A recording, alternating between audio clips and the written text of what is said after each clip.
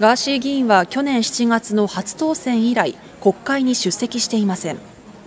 尾辻参院議長は今日、NHK 党の浜田議員に対して国会への出席を求める書面、招状を手渡しました。